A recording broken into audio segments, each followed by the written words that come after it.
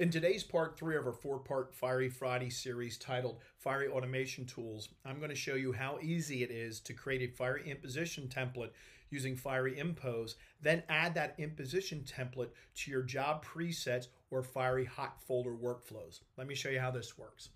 What we're going to do is we're going to take a job inside a command workstation, it's a business card, and we're going to open up Fiery Impose.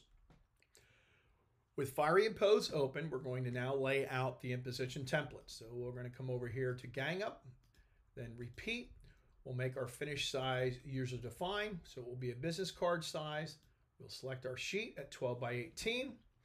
I'll throw this to portrait mode so it's easier to see. And then we're going to make this an 8 over 3 or a 24 up layout for my business cards. We'll then add a gutter of an eighth inch around and apply that to all the slots.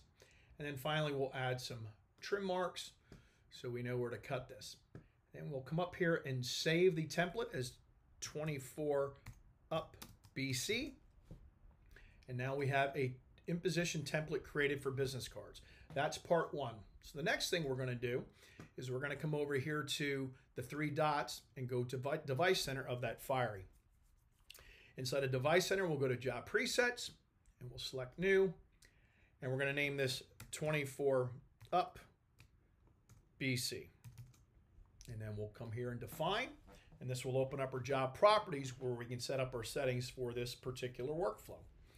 The first thing we're going to do is we're going to go to our media tab and we're going to make sure that we're always printing this on 16.12 by 18. Then we're going to go to layout and underneath layout we're going to select impose. Underneath here you're going to notice that now the 24 up BC template is available for us to add to our workflow. So if we hit OK, OK again, we have now created a workflow with the Fiery Impose template. And if we do a right click on the job, you'll notice underneath Apply Workflow, we have the 24 up BC available. So if we select that and process and hold the job, that imposition template will be applied. Now let me show you how you do that with a hot folder. So what we'll do is we'll open up our hot folders tool. We'll select new Again, we'll name this 24 up BC. We will select the fiery that it's assigned to. We'll then go to our job action. We'll make this a process and hold so we can run it. We'll go to our job properties and you'll see underneath here 24 up BC is available. We'll select that as well. Then finally we'll hit OK. And now we have a new hot folder created.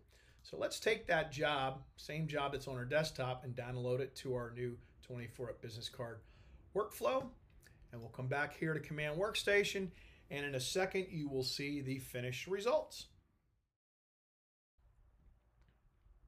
So here you can see the business card that was a one-up has now been laid out using the imposition template we created and applying it to a hot folder workflow. So that's how easy it is to automate imposition templates into various workflows in your Fiery.